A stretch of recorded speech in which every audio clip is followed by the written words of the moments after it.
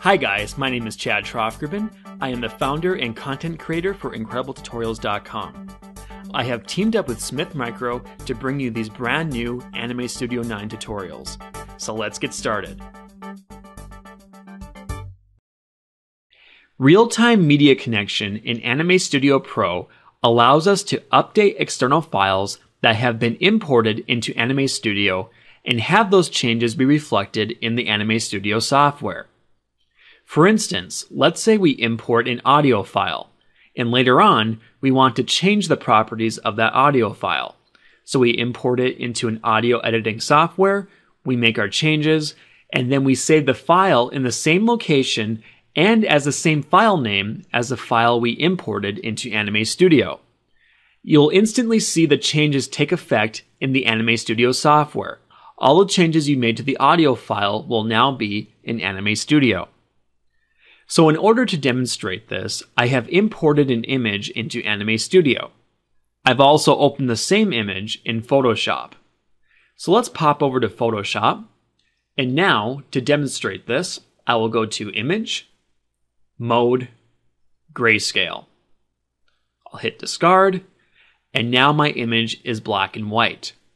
Next, I need to save this image as the same file name and in the same location of the file that we imported into Anime Studio. So I'll go to File, Save As, and then locate that directory.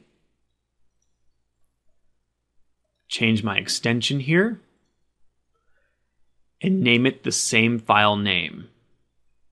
And click Save. I will overwrite this file. Click OK. So now, when I go back into Anime Studio, we can see the image is now black and white. So let's say we want to make further changes to this image. We can go back now into Photoshop again, go to Filter, and let's choose the Colored Pencil filter. So now we have adjusted the image once more. So once again, we'll need to go to File, Save As, locate that directory, make sure that we have the same file format and the name, and click Save, and click OK. So now, once again, popping back over to Anime Studio, you'll see that that change has taken place. Now, there is one more aspect to this. Let's say I go to my file browser and I choose to move the image into another location.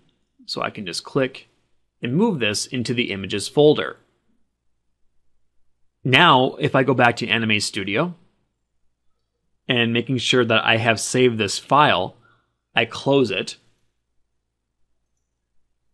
And now I reopen it. You'll see I get a box saying that the file cannot be located. This is the other portion of the real-time media connection. Because you are referencing external files, it's always best to keep them in secure directories that you know won't be moved or deleted. However, if this does happen to you, you can always locate the file manually by hitting yes and then browsing to that file. And now, as you can see, I have re-imported the file back into Anime Studio. And that wraps up this lesson on the real-time media feature in Anime Studio Pro. If you have any more questions regarding Anime Studio, please check out the official Anime Studio website at anime.smithmicro.com. Thanks for watching. I have many more Anime Studio 9 tutorials out there, so please check those out, and I'll see you next time.